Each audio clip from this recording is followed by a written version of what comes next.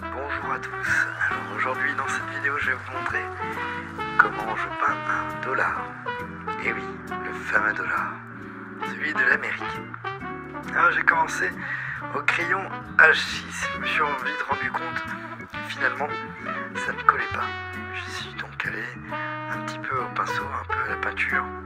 Et puis j'ai rajouté mon style, le petit carré, les ombres, un peu de réalisme. Du petit dollar. Laisse-moi ton avis pour savoir ce que t'en penses. Et bien sûr, n'hésite pas à t'abonner.